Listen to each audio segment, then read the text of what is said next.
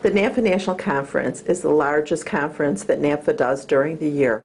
I've often heard members, after they leave the conference, that they bring back some tidbits of information that they can use in their practices.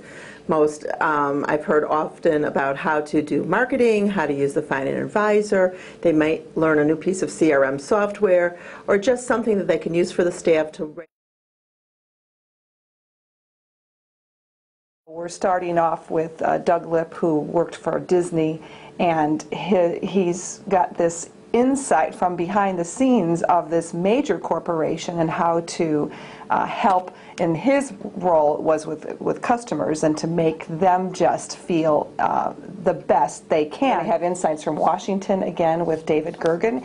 The team decided to bring him back. He spoke at NAPFA uh, two years ago uh, in the Northeast, uh, and actually in Orlando, and he was very well received. Clance, who spoke uh, in 2010, is coming back again to give a keynote. McDarr, who uh, folks may or may not know, has um, has a skill in being able to talk about resiliency in today's world, and she's.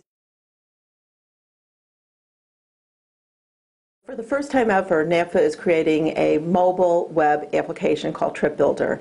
So you'll be able to download it to your iPhone or any kind of smartphone that you have, and you'll be able to get all the latest uh, conference happenings. You'll be able to know the exhibitors, the sessions, if something's been changed. We'll be able to do surveys, your CEs, all kinds of good stuff.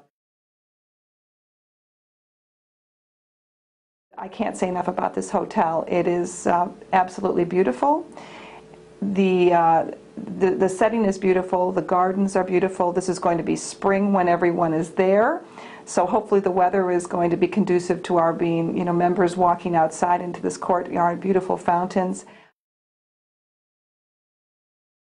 Early bird deadline ends April 20th.